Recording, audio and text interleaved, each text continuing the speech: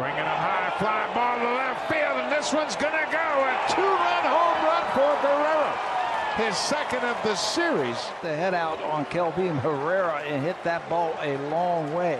His fourth home run already this year.